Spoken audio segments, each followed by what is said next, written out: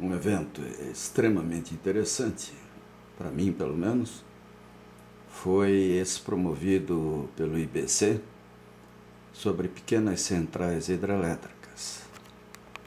Como tive a oportunidade de participar dele, tive também a obrigação de fazer algumas avaliações antes de ir a São Paulo e, e passar dois dias falando sobre pequenas centrais hidrelétricas. Então, coisas como essa que a gente descobre no portal da ANEL são preocupantes. Muitas PCHs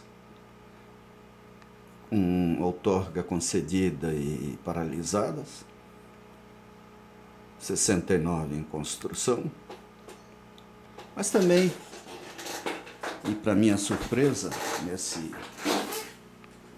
evento, recebendo a, revista PCH News, PCH Notícias, né?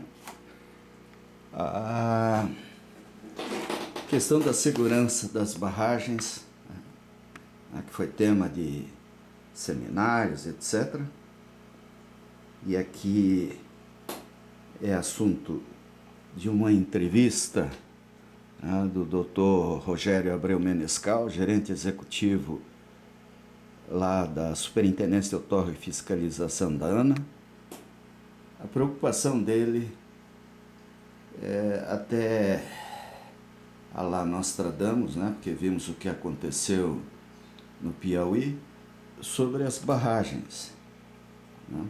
Quer dizer, nós temos que ter padrões, nós temos que ter um sistema de fiscalização permanente, nós precisamos de segurança. Isso não é só para PCH ou grandes barragens, etc. É para qualquer tipo de barragem, qualquer tipo de instalação de grande porte.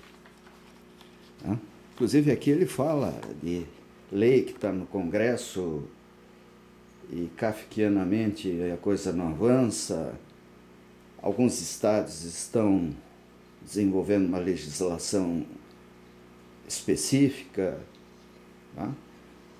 Tudo isso é importante e faz a gente perguntar para cada deputado, cada senador, né?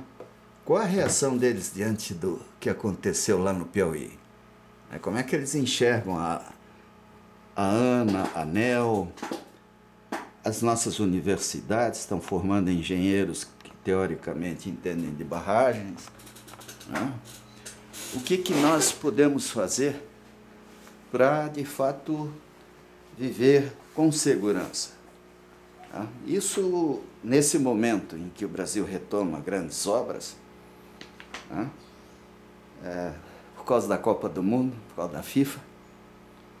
E quem sabe alguma coisa a mais pelo próprio Brasil, nós precisamos de leis, de normas, de sistemas, auditorias, boas universidades, que as universidades hoje viraram pátios de estacionamento de automóvel e fabricantes de apostilas, são laboratórios, né, de especialistas e também de militância até cívica, quer dizer, aquele acidente de algodões passou pelo Brasil ao vivo e a cores do começo ao fim.